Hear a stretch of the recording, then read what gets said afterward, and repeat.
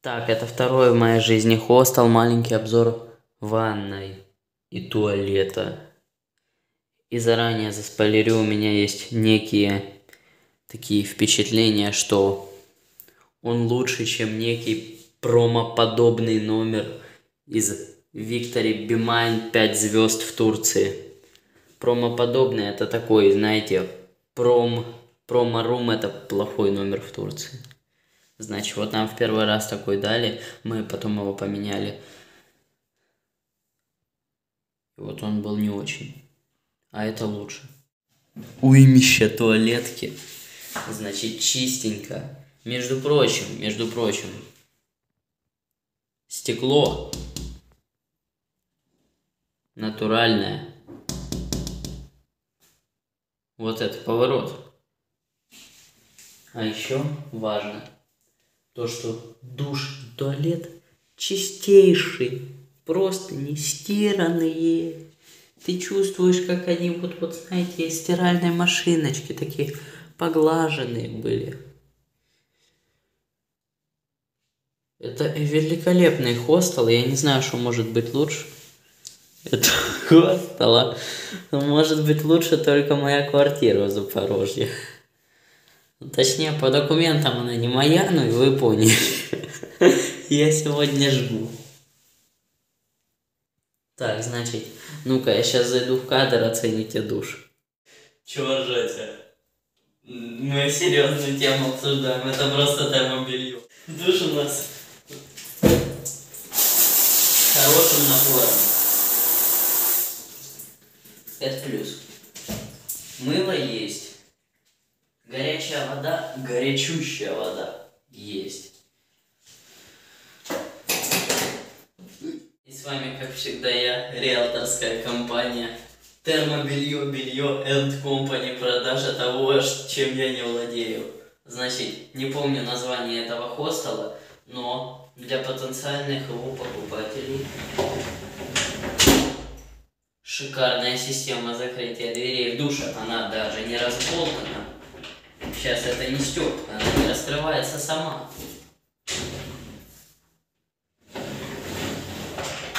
Очень удобно. Некоторые вещи здесь уже видавшие виды, но тут очень чисто. Не так, как в предыдущем хостеле, и это однозначный плюс.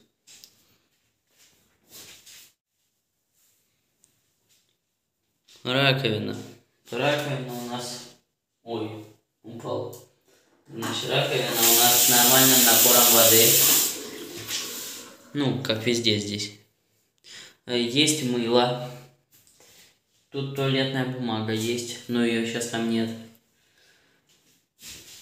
Звучит странно. Еще, еще. Цена за одну ночь здесь 105 злотых.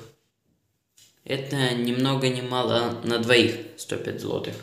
Это ни много ни мало нормально для такого хостела. Я бы сказал, идеально для такого хостела. Но на завтра, вот завтра уже будет пятница, и ночь с пятницы на субботу будет стоить вам уже под 500 злотых.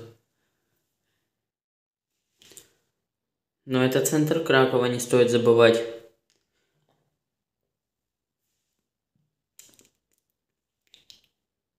Вид из окна мы вам покажем завтра. А сейчас последний раз полюбуемся на эти замечательные двери с натуральным стеклом. Не какое-то там вам орк стекло. Намек на орков понят, да? О, кажется, мимо меня прошел. Там за дверью прошел папа. Ну да, папант. Блок на две комнаты. Это наша, это чья-то. Не знаю, чья, я не проверял. Извините. У нас наметились кое-какие технические проблемы. Называется автодатчик выключения света. Двери, ну, не перестают меня удивлять, они потрясающие с обоих сторон. Теперь внимание. Сейчас резко опускаем вниз резко. Пакет! Объясняю, чем я так прям восхитился. Настоящий деревянный паркет, без выбоин, в хорошем состоянии, в хостеле. Как вы думаете, такое часто встречается?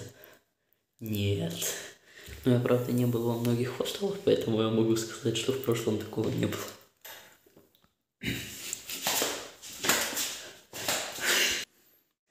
А в пятизвездочном турецком отеле Виктори Бимайн, между прочим, был рейтинг 4,8. Но оказалось, что все не так уж радужно. А рейтинг этого отеля я вам скажу завтра.